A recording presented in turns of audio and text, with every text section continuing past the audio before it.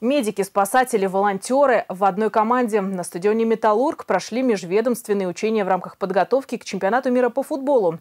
Какой ЧП может потребовать совместных усилий сразу всех служб и готовы ли к этому самарские специалисты, узнал Кирилл Козин.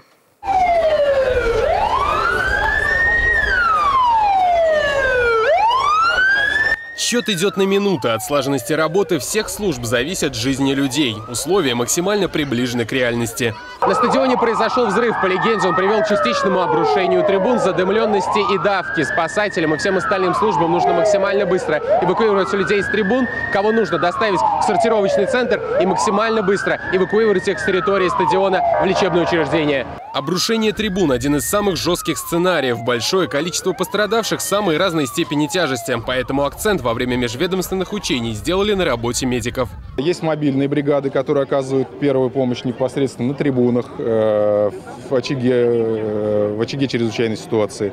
Э, вот эти мобильные бригады доставляют больных на сортировочный пункт, где уже мы, сортировочные бригады, оказываем, продолжаем оказывать первую помощь. В учениях задействованы и кареты скорой помощи. Шесть машин вывозят пострадавших с места ЧП. В случае реальной угрозы на Самара-арену прибудут 50-60 экипажей. А на самом стадионе на каждом матче будут работать 26 мобильных врачебных бригад. Скоординировать их работу и взаимодействие с другими службами – задача номер один. Сегодня будут в учениях участвовать 250 медицинских работников.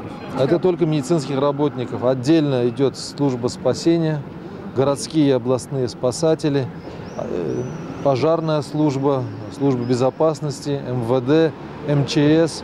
Каждая структура представлена своим звеном.